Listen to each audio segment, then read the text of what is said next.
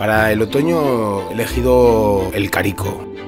Me encantan las legumbres, me encanta el plato de cuchara. A mí me gusta especialmente que el caldo resultante de la cocción sea meloso, sea untuoso.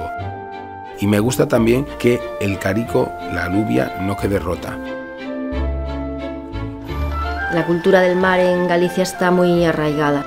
En otoño es el mejor momento para trabajar con mejillón. Y en Galicia tenemos la enorme suerte de tener ese campo de bateas que rodea todas nuestras rías.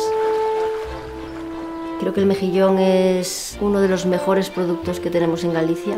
Tenemos la suerte de, como chefs, ponerlo en valor y es un producto maravilloso, que es puro mar y que además tienes manera de hacerlo lucir en un plato.